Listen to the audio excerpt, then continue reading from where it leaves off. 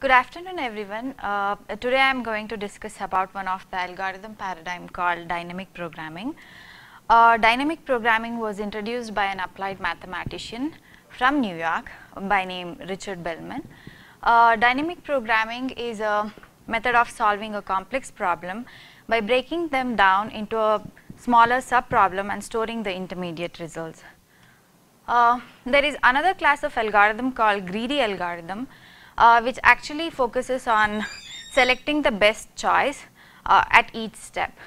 So, let us uh, look at how greedy algorithm works and a dynamic algorithm works in one of the shortest path algorithm. So, the idea here is to find a distance between a source node to the destination node given a weighted graph where each edge represents a weight uh, and it's it actually it's it is actually a distance between one node to to another node. So, in this uh, graph I am uh, trying to find a shortest path from A to J. Uh, the greedy algorithm selects A to B because that is the shortest uh, which is having an uh, edge weight of 2. Then it selects B to F, F to I and I to J resulting in a shortest path from A to J being 13. So, now let us look at how dynamic algorithm solves approaches the problem. So, it defines a function called f of x where f of x is the minimum distance required to reach a destination node from any node x. So, let us go with the first node which is j itself. So, f of j is 0. Uh, next is f of h and f of i. Uh, there is only one edge, so f of h is 3 and f of i is 4. And for f of e, we have two paths, one is from e to h and h to j and from e to i and i, I to j. Uh, but dynamic algorithm selects the minimum out of those two. Uh, in this case, it is e to h and h to j. On the left side, uh, you have uh, I have optimal substructure. Basically, I am maintaining a knowledge base which actually says an optimal path from any node to the destination node. Uh, so, likewise, I compute for f, j, and other nodes. If I look at f of b, so f of b would be minimum of a length from b to e and f of e or b to f and f of f or b to g and f of g. We notice here we are using f of e, f of f and f of g which is already being computed. So, I select one of uh, I select the best path so which is f of which results in f of b being 11. So, likewise we uh, compute for other nodes and uh, thus a shortest path from a to j uh, is from a to d, d to f, f to i and i to j which is of length 11 uh, which is smaller than what greedy algorithm uh, showed us.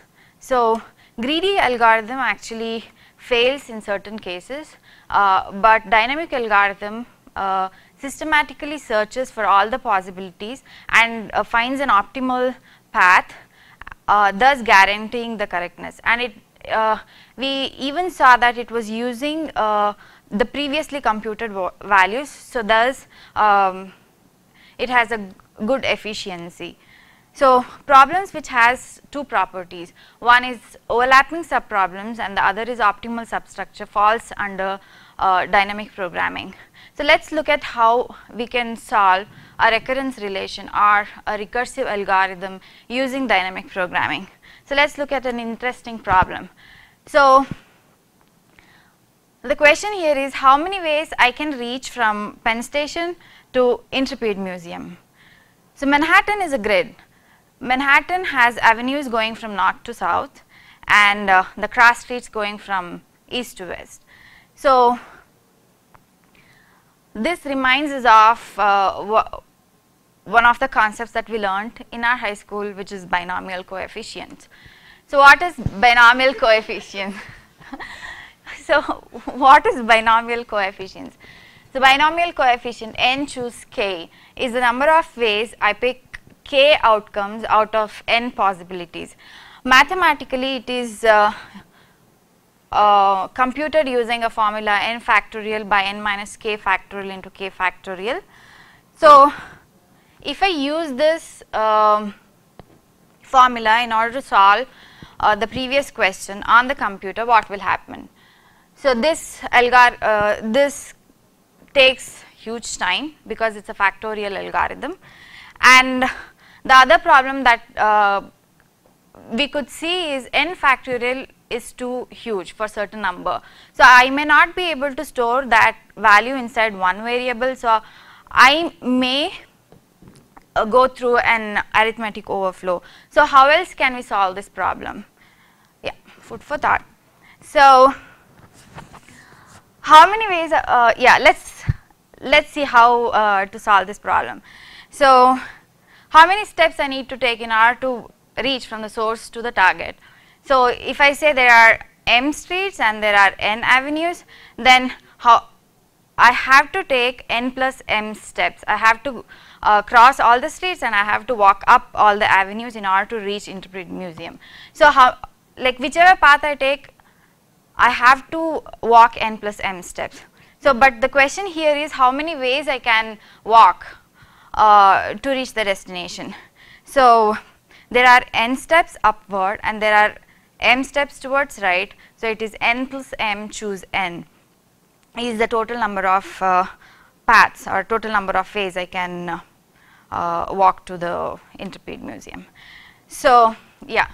So, we cannot use the binomial coefficient uh, formula. So, how else can we solve it? We can solve it using Pascal's triangle.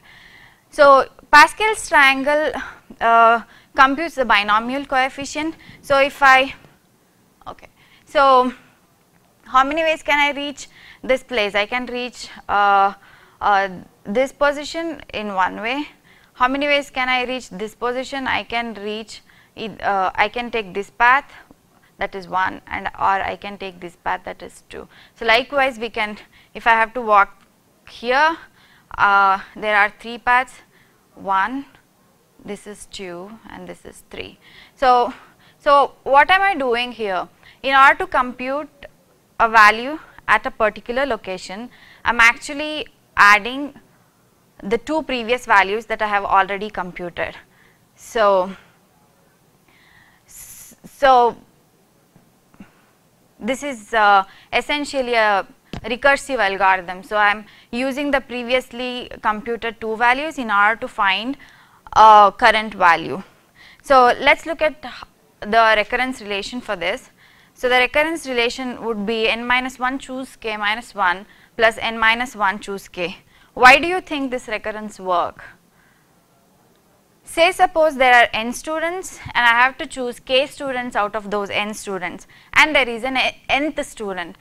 If I select an nth student then I am left with n minus 1 possibilities and out of k I have already selected 1. So, I am left with k minus 1 outcomes. So, uh, that that is represent by represented by n minus 1 choose k minus 1 and if I do not include the nth student then I am left with n minus 1 possibilities, but I have to choose k students.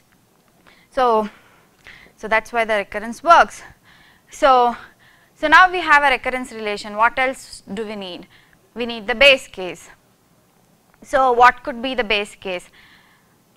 So, one of the base case would be how many ways can I choose n students out of n students. There is only one way I can choose that is I have to choose all of them. How many ways I, I have to choose 0 students out of n students. Uh, there is only one way which is empty set. Uh, I choose nobody. So, so uh, we know the recurrence relation, we know the base case. So, we are good to go with the program. So, this is how uh, the program looks like. So, initially I have initialized all n choose zeros which, which is this the column representing all ones and I have initialized all n choose n to be 1 uh, which is one more base case which is the diagonal ones and uh, with the recur recurrence relation I am finding the other values. So, thus we can solve our uh, question how many ways we can reach from Penn Station to Intrepid Museum. So, what did we learn? So, the first thing uh, is given a problem, formulate the answer using recurrence relation or a recursive algorithm. Show that the using the recurrence relation, the problem can be solved in a polynomial time. And uh, the third step uh, which is for, for computing the current value, I should uh, have already computed the previous two previous values which I need. So, these are the three steps that we usually perform while uh, doing a dynamic programming algorithm. So, the quick recap of my talk would be if I use dynamic programming, it ensures a polynomial time complexity. I can solve a problem which takes exponential or a factorial time uh, and uh, reduce the time complexity to be a polynomial and what kind of a problem does dynamic programming solve? It, it solves an overlapping subproblem which we saw in Fibonacci and optimal substructure that the example that I gave using the graph and remember the three steps that we spoke about. So, yeah, thank you.